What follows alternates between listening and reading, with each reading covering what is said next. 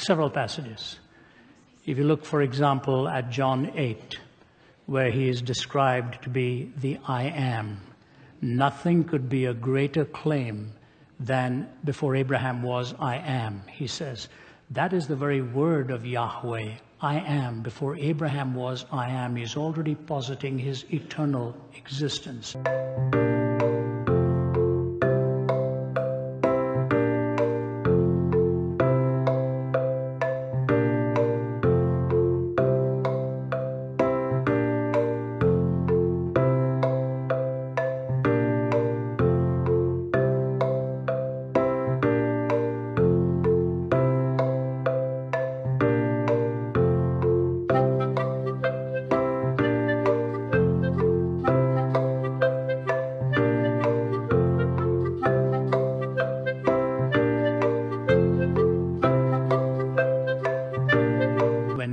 Chapter 20, when Thomas comes to him and uh, reaches and touches his side, ho kurios mu, ho theos mu, my Lord and my God.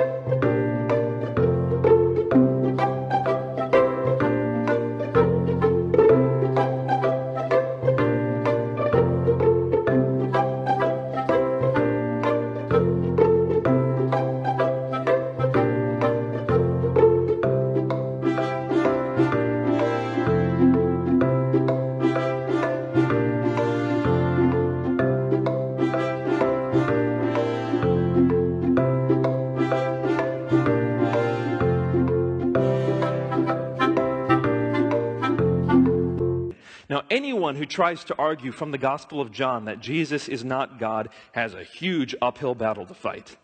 Because John's Gospel starts off with what? In the beginning was the Word, and the Word was with God, and the Word was God.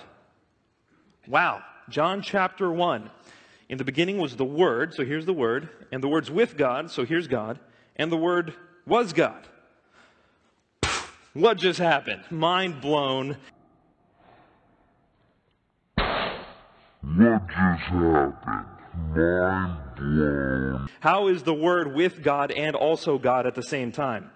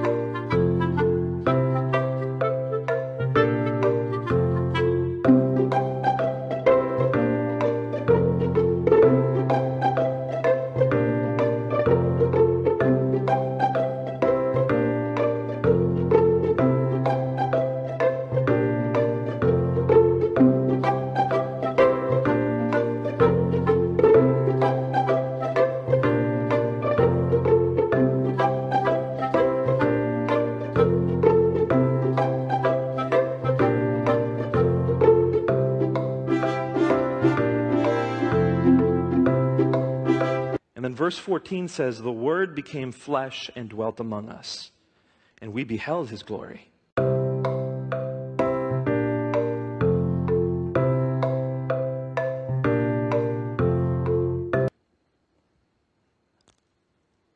Okay, I have to go to the Trinity then. I have to go to the Trinity. All right, make sure you have a good definition of the Trinity. Here is the definition of the Trinity. If you write anything down tonight, write this down.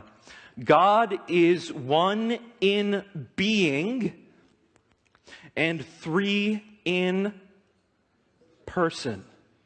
One in being and three in person. Now, that is not a contradiction.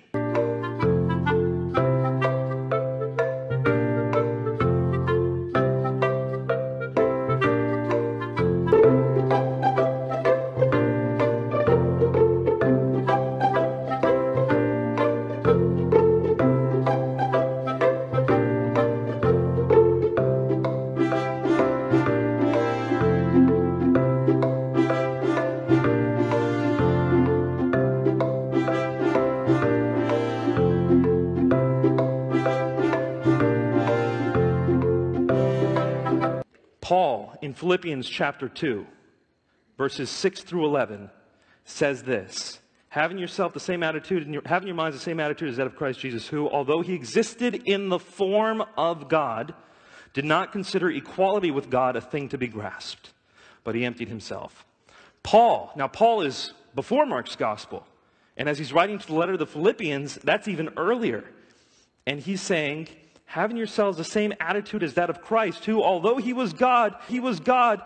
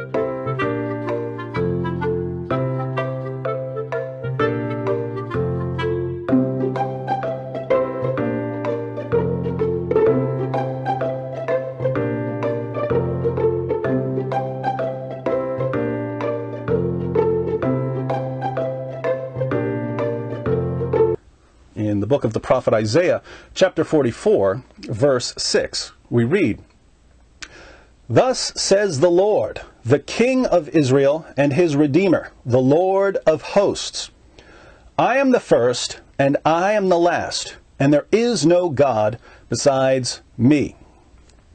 Where did Jesus say, I am God? When I saw him, I fell at his feet like a dead man. And he placed his right hand on me, saying, Do not be afraid. I am the first and the last and the living one, and I was dead. And behold, I am alive forevermore, and I have the keys of death and of Hades. I am the first and the last. You see, if you're familiar with the book of Revelation, you know that this is Jesus talking to the Apostle John. Jesus calls himself the first and the last. Why would a mere prophet call himself the first and the last?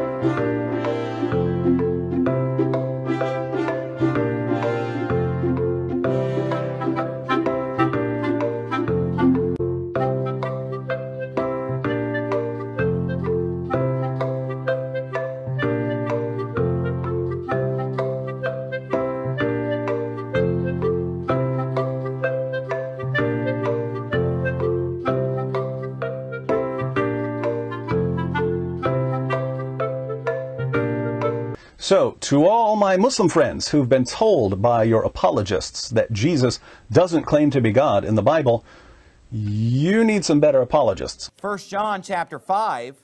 This is the strongest verse in the Bible that really lays down the Trinity. 1 John chapter 5 verse 13 says this, These things, I'm sorry, verse 7 says, For there are three that bear record in heaven, the Father, the Word, and the Holy Ghost, and these three are one.